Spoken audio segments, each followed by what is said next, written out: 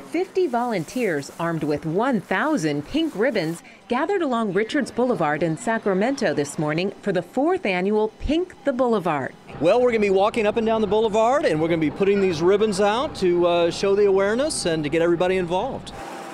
Pink Boulevard is an awareness campaign created by a local breast cancer survivor. It includes lining the boulevard with pink balloons, banners, and 1,000 hand tied pink bows. The thousand bows really signifies there's a thousand men and women this year in Sacramento area that will be diagnosed with breast cancer. Employees from 20 area businesses, including Motel 6, got up early to donate both time and money to Pink the Boulevard. Some of them personally affected by breast cancer, others here for support. Well, because it's not just a disease for women, it's for men as well. So we're here to really just help out everyone. So it's a great cause.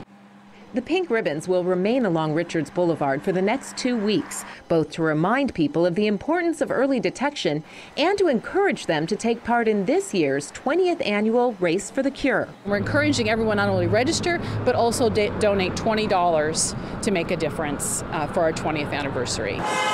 So if you're driving down Richards Boulevard over the next few weeks, be prepared to see a lot of pink.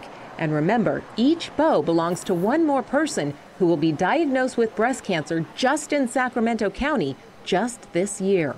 Reminds us, and you come by and see a little bow, would you please say a little prayer for somebody? Because that's really a person that's been actually diagnosed.